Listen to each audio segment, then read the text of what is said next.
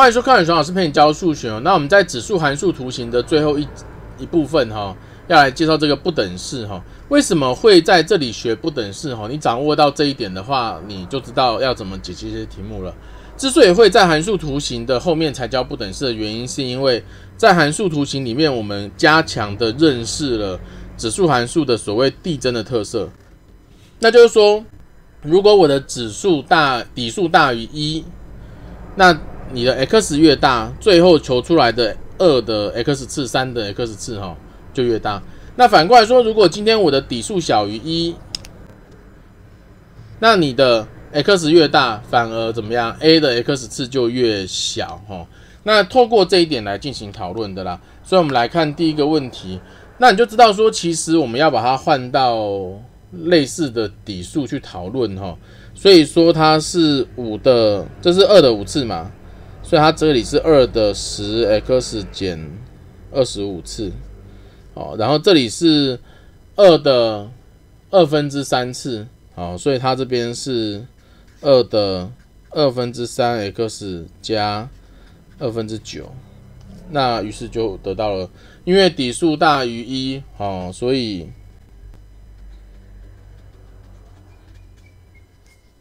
十 x 减二十五会大于。二分之三 x 加二分之九，这样子嘛，对不对？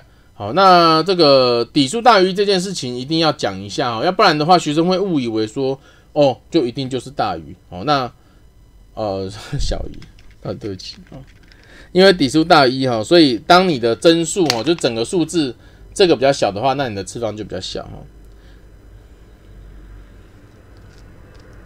好，那这个。底数大于一，一定要讲一下哈，不然的话，学生很容易以为说就是把这个抄下来，哦，不是的，他其实要讨论一下底数，好，那于是来解它啦，所以我们把这个移去左边的话，你会得到二分之十七会小于二分之五十九，所以呢，我们的这个 x 会小于十七分之五十九。下面这题，好，那其实做法是差不多的啦，哈，可以给学生自己做哈，你们可以按个暂按个暂停，自己做做看哈。这个是三的二分之一次哈，所以按照指数率，它是三的二分之一 x 平方减二分之一次哈，然后大于这个是三的负一次，所以它是三的负 x 加七次哈。那因为底数，我这是加七哈。那因为底数三是大于一的哈，所以这个比它大，指数就比它大，所以负 x 加七会大于二分之一 x 平方减二分之一，哦，那所以我们会得到呢二分之一 x 平方加 x，然后减二分之十五会小于零。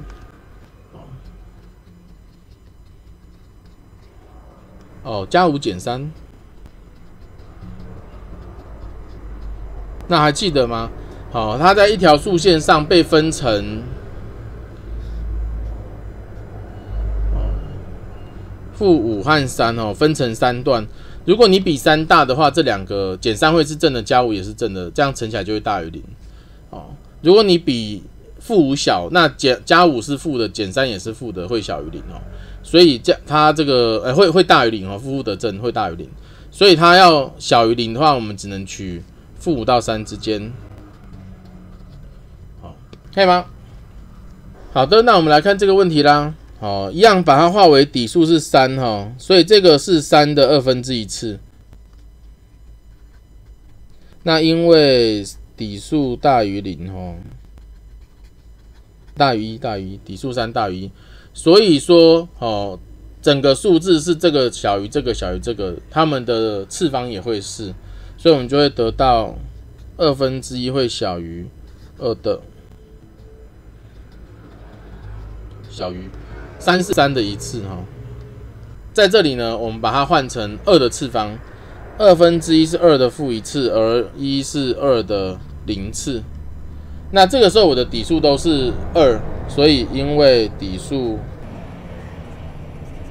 二大于一，所以我的这个不等号就不用变哈，那是所以负一小于二的这样子。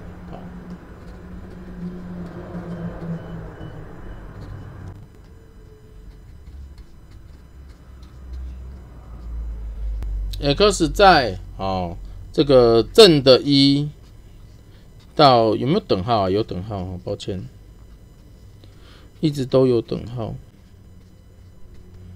到就两边都开根号了哈，根号的二分之三哈，所以是二分之根号六，或或者负的哈，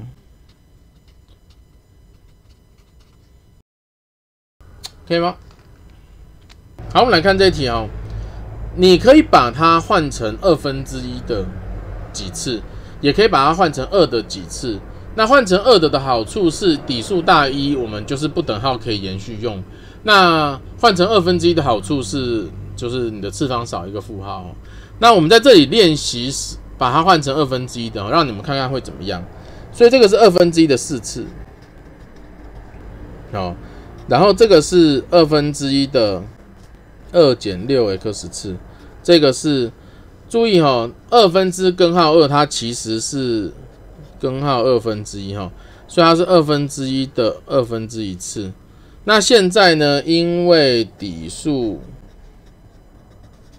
二分之一是比一小的，所以你现在看到这个比较小，它其实它的次方应该比较大。那所以说我们会变成是四大于。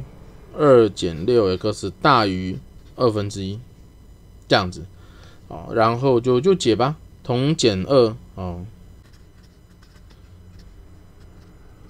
同除以负六，同除以负六，结果又把不等号再翻回来，哈，所以是负三分之一，这个除以负六，负负得正，哈，然后四分之一。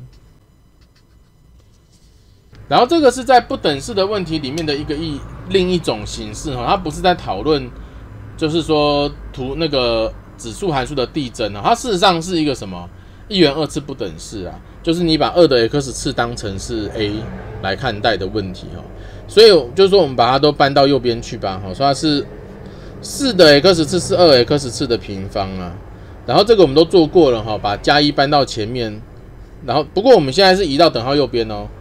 只是我们写左边而已哈，所以这个是减的，减十四二的 x 次，减三十二会小于零哦，可以吗？好，那所以说 a 平方减十四 a 减三十二小于零啊，那这个三十二应该是什么？十六跟二哦。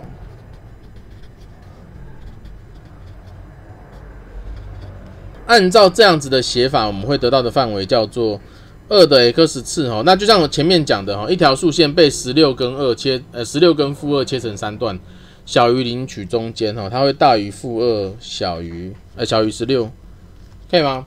然而事实上哈，因为二的 x 次根本就应该会大于零，所以这里呢直接变成大于零就好了，哦，就是或或者说它就不要这个范围也可以哈，所以我们最后得到的是 x 小于四。底下有几个简单的是非题哈，我们来看一下哈。如果 x 在零到一之间的话，这个是不是会成立呢？哦，也就是说 x 是小于一的哈。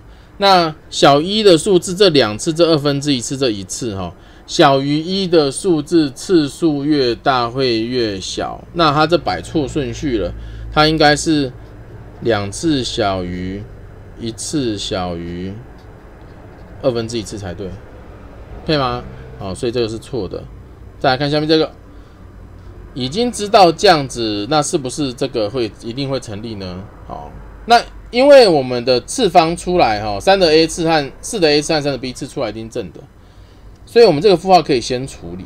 我们先同乘负号，所以就是四的 a 次一定会小于三的 b 次的话，那现在你右边看到的这一个。四的 a 次分之一的意思嘛，这是三的 b 次分之一的意思嘛。这个我们前面有讲过哈，只要你这两个东西同号，导数就会让它的大小顺序刚好颠倒。我们现在因为都是正的，所以原本是小于，翻过来就会变大于，哦，这是对的。然后我们来看第三小题哈，说如果 a 比 b 大，而且比一大的话，那么这个是不是一定会成立哦？你可以按个暂停，自己想一下哈。a 跟 b 都是正的，那你只要是同号的话哈，而且都是正的的话，那么你一起进行 n 次，哦，两个两个数字一起进行 n 次，大的那个还是比较大，小的那个还是比较小，包括它小一的时候也是一样哦，三分之一小于二分之一嘛。所以一起平方之后，九分之一小于四分之一哈，所以我们现在呢，可以把它一起 a b 次同 a b 次，那就是说在次方乘 a b 啦，可以吗？好，在次方乘 a b 的话，你的式子会变成是，我们现在不知道这个大于有没有成立嘛？我们先写框框哦，两个同次方同乘 a b，你这里会变成是 a 分之一的 a 次和。b 分之一的 b 次，可以吗？呃，如果你比较不习惯看那个那个底数小一的话，你可以把它改写成 a 的负 a 次和 b 的负 a 的负 a 次和 b 的负 b 次。好，那因为 a 比 b 大，所以 a 这个图形本来就比 b 还要陡。假如说这是 b，那 a 本来就会比它。右边会比较陡，左边也会下的比较快。那注意，我们这个负 a 是负的，所以我们都在这边。然后 a 比 b 大哈，所以 a 这边要选一个负比较多的，所以它本来就已经下的比绿色的还要快了，它又被选到一个负更多的次方，所以它其实一定会比较小。哦，这里其实一定一定是小于哈，所以这是错的，可以吗？可以吗？那么下面这个哈，这个四四的三分之一次和四分之一的三次哈，到底谁大呢？好，四分之一的三次，这个其实很简单，因为四分之一的三次是这个六十四分之一嘛。然后四的三分之一次呢，它其实是开三次根号。那你不管再开几次根号，都不会把大于一的数字开到小于一哦。所以这题其实很简单哦，这一定是这个大，这样可以吗？好。那我们这集上到这里。